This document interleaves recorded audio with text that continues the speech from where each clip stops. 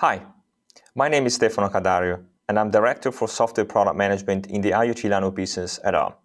Today I will talk about ARM Virtual Hardware and how they can enable IoT developers to move to new cloud-based development practices such as continuous integration and MLOps. Let's start with a bit of history. When talking about the Internet of Things, we can identify three distinct phases to the evolution of the Internet of Things. The first one started several decades ago with the introduction of the microprocessor. This phase led to most devices we use every day to have an embedded microcontroller integrated. The second phase is interconnectivity, where all those devices could talk to the internet or between each other to coordinate activities and processes. Third and last step is intelligence. This is the phase we are in today, and the one that is going to have the biggest impact. With the help of connectivity and ML, we expect to see a revolution of technologies and services across billions and billions of devices, from edge all the way to the cloud. But how does it show up in a real-world scenario? Let's take a look at an example of a production plant. The first phase is about devices controlled electronically. For example, the advancement of the production plan is controlled by sensors position, positioned along the lines ventilation is regulated based on the temperature and so on. This is the basic scenario we have been used for several years, and I will refer to it as a traditional embedded.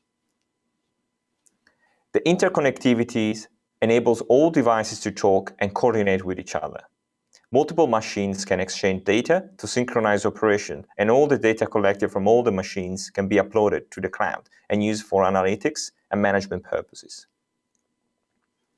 The next and final level is intelligence. Imagine a system that is able to improve how a part is designed or mounted based on the data acquired on the production line. Adapting the speed of the production line based on various characteristics such as knowledge and experience of the operator, automatically optimizing environmental condition to maximize the comfort of the workers. The possibilities are infinite, and we are right at the verge of this revolution. But all of this is not free. Interconnectivity and especially intelligence comes with a steep increase in complexity of the software. With introduction of connectivity, multiple factors need to be taken in consideration while developing software, such as security, over-the-air updates, and networking stack. In a rich operating system, such as Linux or Windows, most of those issues are resolved at OS level and abstracted from the application running on it. For embedded, this is not always the case, and software engineers are required to manually integrate libraries from different vendors, and resolve the potential incompatibilities with the hardware they are working on. This problem manifests even more considerably when security flaws are found and one or more components of the software stack needs to be updated. Time is critical, and the engineers will not only need to have a robust, robust way to manage the components of the software stack, but more importantly, processes to handle update requests and deployments at scale across the fleet of devices in the field. If we add machine learning to the equation, requirements for updates go far beyond security as models are constantly refreshed based on new data acquired, even multiple times a day.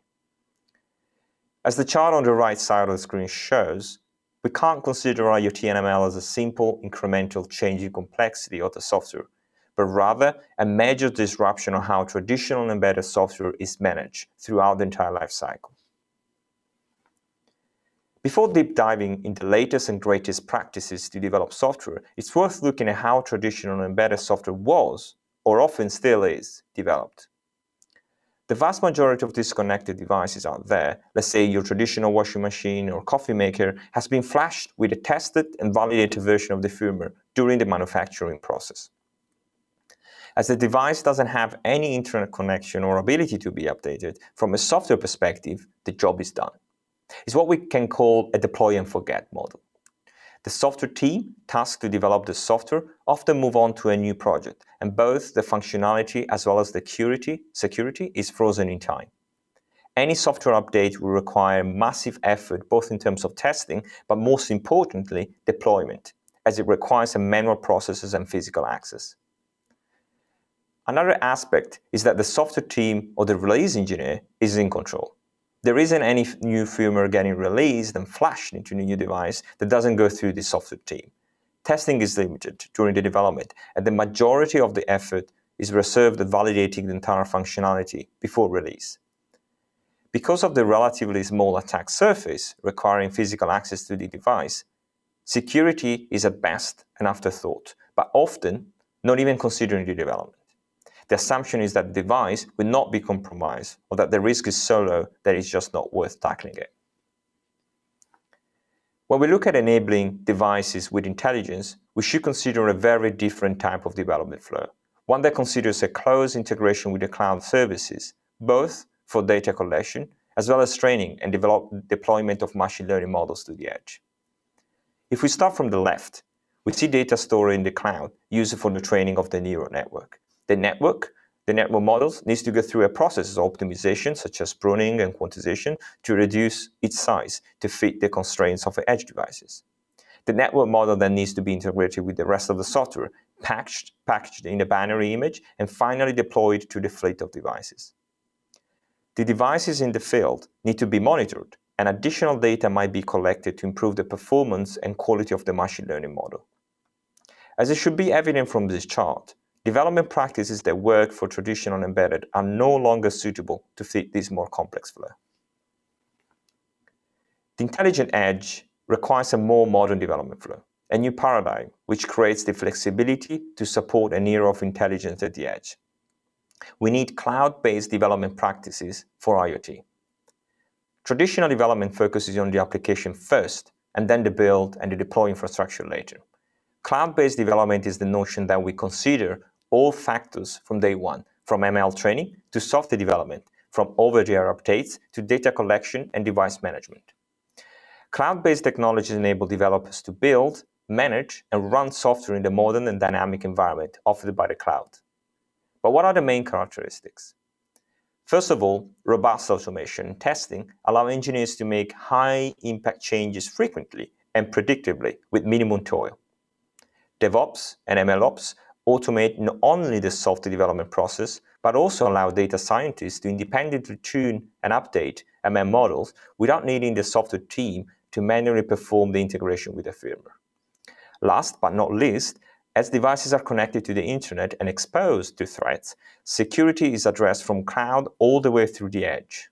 So cloud-based development seems to solve our problems. What's the catch? Well, Unlike cloud applications, we can't simply run IoT application across virtual machine or containers. We are bound to real hardware. First of all, hardware is difficult to scale. Although IoT boards and chips are relatively cheap, building and managing board farms is very expensive, requires a certain expertise, often only available in big teams. And if you ever had to rely on limited resources for testing and build, you know that compute and testing resources are always a bottleneck to add more tests and reduce the time to execute entirely nightly or weekly test suite. Moreover, procurement can be sometimes very challenging, especially in this period of chip shortage, or even impossible when the chip hasn't been taped out yet. Another issue is the limited ability to reproduce and test software under special conditions or corner cases, such as testing sensors at the boundaries or simulating intermittent internet connection. Finally, IoT boards are not available in public clouds, so running firmware natively in the cloud is just not feasible. ARM virtual ARM hardware are a simple and scalable way to remove dependency from hardware and unlock cloud-based development. You can imagine ARM virtual hardware targets as the equivalent of virtual machines, but for IoT. ARM virtual targets provides a functionally accurate representation of an ARM-based SoC simulating the behavior visible from a software perspective, but abstracting the complexity around the underlying hardware. Unlike EDA simulators and emulators, virtual targets are developed independently from the RTL and are generally available ahead of the IP release. ARM has more than 15 years experience developing accurate models of ARM IP for both pre-silicon development as well as EDA verification flow and we are very excited to offer the same capabilities directly to the software developers who can leverage this for IoT. ARM Virtual Hardware targets are a simple Linux application and run both on your local machine as well as in the cloud. ARM Virtual Hardware go beyond just simulating the ARM CPU and provide mechanisms to accurately simulate the memory subsystem as well as the peripherals. As such, ARM virtual hardware targets are suitable for both bare metal development up to kernel and application development on rich OSs such as Linux and Android. ARM provides reference design for the IoT, but partners can extend the basic platform to more accurately simulate the characteristic of their SoC in use. The vast majority of ARM IP portfolio is available as components to build your own ARM virtual hardware, including Cortex CPUs, GPUs, as well as system IP and interfaces. If you take a look again at the software development flow we saw earlier, we can immediately notice how virtual hardware fit into it. On the left side, virtual targets can be leveraged to estimate the performance of uh, an optimized machine learning model directly in the cloud without the need to test it on actual hardware. This enables data scientists to rapidly experiment and test different network configuration and optimization tactics. For software development, beyond the clear advantage of being able to develop software without having a board on your desk, a major advantage is the ability to run and scale the CI infrastructure in the cloud, with potentially thousands of virtual boards being launched in the cloud in seconds, and all the suite of tests running completely in parallel no more bottlenecks due to broken boards or faulty virtual suppliers. Let's take a look at a demo on how ARM Virtual Hardware Target works. To demonstrate the capabilities of Virtual Hardware Target, we will use one of the examples included in the ARM ML Embedded Evaluation Kit. The evaluation kit contains several example networks and use cases ported and optimized for the ARM Ethos U55 NPU, such as image classifications using MobileNet v2 and keyword spotting using Wav2Letter.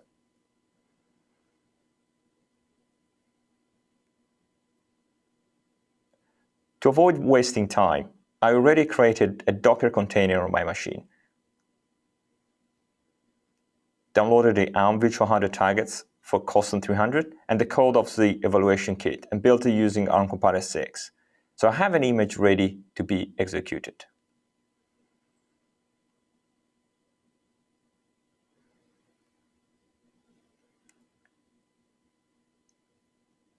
Let's start the ARM virtual hardware. Using this Linux command, I can load the memory and run the binary image. I have a preset configuration file, which will be, we will change later.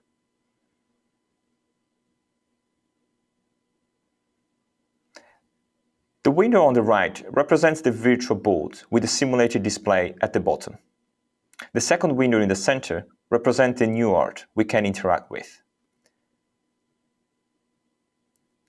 As you can see, the example firmware is now running, and it shows a list of options to choose from. Let's pick option 1 from the menu.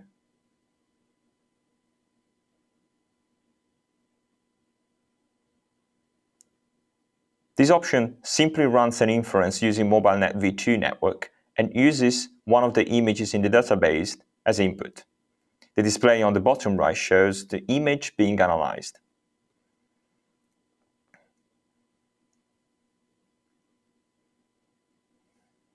After the inference is complete, the output shows it as being recognized as tabby cat, Egyptian cat with the, correspond the corresponding probability. Let's do a second run.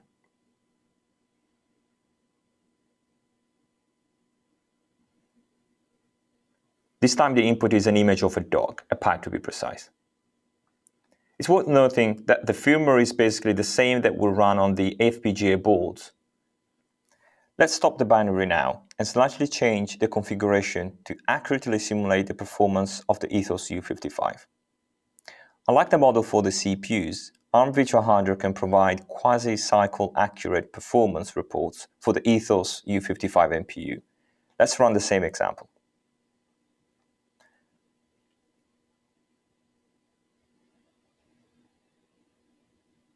As the simulation takes more time, accelerated the video to go straight to the end of the inference. Once completed, we expect exactly the same results as before, but this time the console should report a valid number of active cycle of the NPU, which can be utilized to accurately estimate how fast this specific inference would run on the Ethos U55 without the need for hardware or an FPGA platform. Some of our partners are already successfully using virtual hardware. I want to highlight at least two examples. The first one is Cambridge Consultants, who ported an application for early detection of tuberculosis from the cloud to a Corstone 300 based system. The team at Cambridge Consultants was able to demonstrate a concept system using virtual hardware, dramatically reducing the cost to develop such prototype, and in doing so, providing an application example well before any silicon was available. The link at the bottom provides more information on this application. The other example is TensorFlow, an ML framework from Google, widely used both in mobile and for TinyML. The team at Google and ARM were able to develop and optimize the library for Cortex-M55 as Ethos U55 much earlier in the process. Furthermore, thanks to the integration of ARM virtual hardware into the CI infrastructure, any code changes into the repository is automatically tested against a virtual Corstone 300 instance directly in the cloud, providing a much more scalable way to provide immediate feedback to the developer if the code is broken. Both examples show how ARM virtual hardware is used for software development. But what about MLOps? Let's hear from our friends at EdgeImpulse. Hi, my name is Jan Jongboom and I'm the co-founder and CTO of EdgeImpulse. EdgeImpulse is the leading platform for embedded machine learning with over 40,000 projects created. And we're very excited about the launch of ARM's virtual hardware, as this gives us the opportunity to know on-device performance without having to run on a real device. And that is crucial for every single one of those 40,000 projects. Um, if you're doing MLOps, whether you're first collecting data, extracting features, or training a neural network, everything needs to fit the latency and memory constraints of your target. And modeling that beforehand is crucial to a successful embedded machine learning deployment. Um, so far, we've already worked with ARM on bringing support for the M55 and U55 to market without even having silicon available, and ARM's virtual hardware has been a tremendous help in doing that. So I can't wait to see what the future brings in the collaboration that we have around the stack.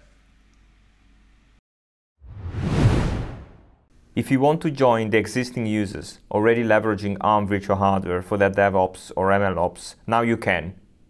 Just go on the ARM virtual hardware website indicated on the screen and follow the instructions to run your own model of Cortex M55 and Ethos U55 directly in the cloud. You will find tutorials with examples on how to launch your custom instance of ARM virtual hardware, as well as guides on how to enhance your CI testing infrastructure through the integration with GitHub Actions. In today's presentation, I talk about the need for a new and more modern development practices due to the increased complexity introduced by IoT and ML, and how cloud-based development addresses some of these challenges. ARM Virtual Hardware is a fundamental technology to enable effective and scalable software development in the cloud, bridging the existing gap between real hardware and the cloud-based.